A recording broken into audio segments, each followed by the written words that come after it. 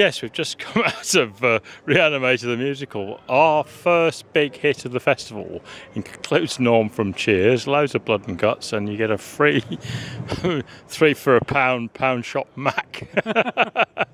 no, brilliant! You must go, and uh, and tickets available half price at the moment, so you'd be a you know absolute fool not to. Brilliant.